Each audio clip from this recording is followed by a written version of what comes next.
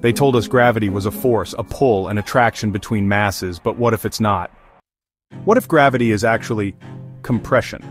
What if gravity is how the simulation saves space, organizing reality not through force but through information?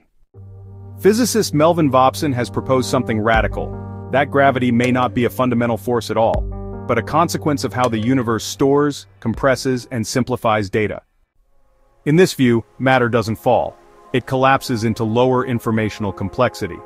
The simulation clusters objects not because they're attracted, but because it's more efficient. The more that comes together, the less the system has to track. The less detail it needs to render.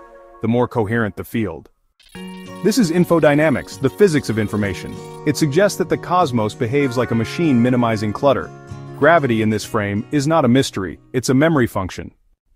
This is what monks felt in silence, what sages whispered through mantras. That when your life becomes still, it becomes ordered. That when your thoughts scatter, so does the world around you. Ancient teachings always hinted that the world is illusion, maya because it's rendered, that dharma brings order because it aligns with structure, that karma is realignment, not punishment but recalculation. Now, science suggests that the universe might be a processor, and gravity, it's the signal that says, this is more efficient, this is the cleaner field, this is the tighter packet of energy. Even space itself may not be continuous. It may be pixelated, just like a digital screen, which means your position, your mass, your field, are all just variables on a grid. And the more aligned you are, the simpler the math becomes, the less friction in the field, the fewer instructions needed to keep your life together.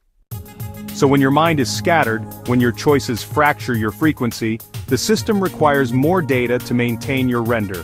Reality feels heavy, unstable, delayed.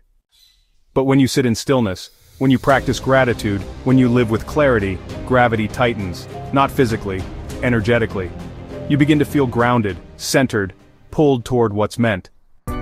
Because the universe isn't pulling you, it's organizing you.